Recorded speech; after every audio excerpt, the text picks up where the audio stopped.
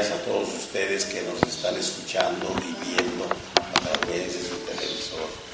Les saludamos en este domingo 7 de julio. Es un domingo en que el Día del Señor nos da la oportunidad de pensar en su palabra a través de las lecturas que escuchamos, que la iglesia sabiamente nos ha puesto para que las meditemos. Especialmente el Evangelio nos hace recordar el pensamiento de Jesús acerca de los mandamientos. le preguntaron en alguna ocasión a Jesucristo, nuestro Señor, Maestro, ¿cuál es el principal de los mandamientos? Porque había, se habían multiplicado ya los, fariseos y los escribas, habían puesto muchos mandamientos ya, que no se vale lavarse las manos el sábado y no se vale caminar más de 40 pasos el sábado también. Y habían puesto por eso, le hicieron esta pregunta a Jesucristo, Señor, un poco también para ponerlo a prueba. Pero Jesús sabiamente nos dice, el principal mandamiento eh, es amar a Dios con todo el corazón, con toda la mente, con todas tus fuerzas. Y el segundo mandamiento es amarás al prójimo como a ti mismo.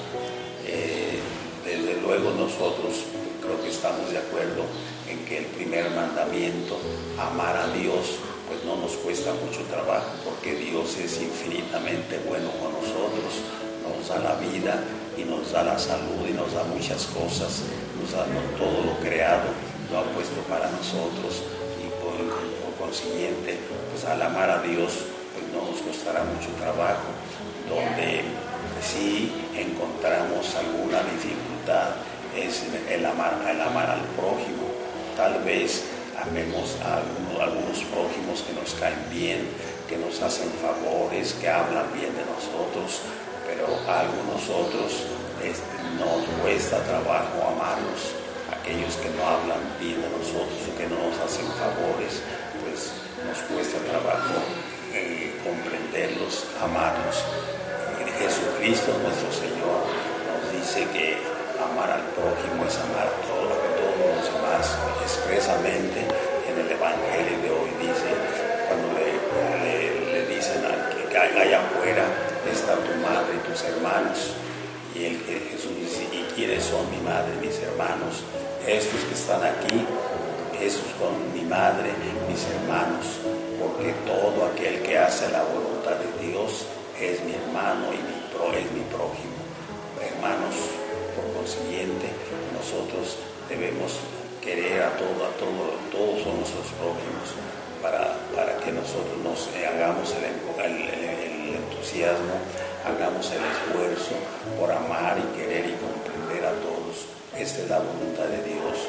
Desde luego que sí es cierto que nos nos, nos, dará esfuerzo, nos dará trabajo amar a algunos, pero ahí está la gracia de Dios que le pidamos a Dios, nuestro Señor, a Jesucristo, que nos dé su gracia, su, su favor, para que podamos comprender y amar a todos, aun aquellos que no hablan bien de nosotros, aun aquellos que no nos hacen favores, todos son, todos son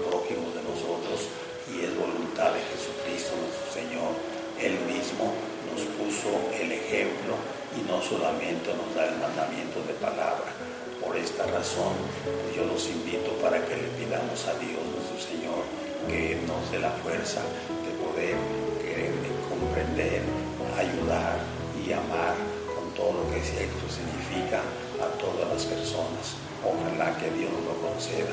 Por eso les doy la bendición a todos, para que con la bendición de Dios podamos realmente cumplir este mandamiento. Que Dios los bendiga a todos Santo. Amén. Que pasen buenos días.